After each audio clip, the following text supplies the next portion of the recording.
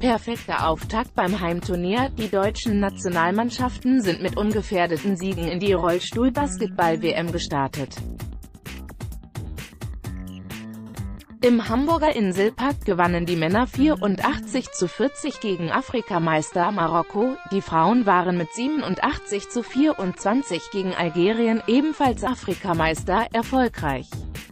Bester Werfer der Mannschaft von Trainer Nikolai Zeltinger war Thomas Böhme mit 22 Punkten. Die deutschen Männer spielen bei der ersten Heim-WM in ihrer Vierergruppe noch gegen den Iran, Samstag, und Kanada, Sonntag, beide 18 Uhr. Die Frauen bekommen es in einer von zwei Sechsergruppen noch mit Argentinien, Freitag 18 Uhr, Frankreich, Samstag 14 Uhr, Paralympics-Sieger USA, Sonntag 12.45 Uhr und China, Mittwoch 9.30 Uhr zu tun.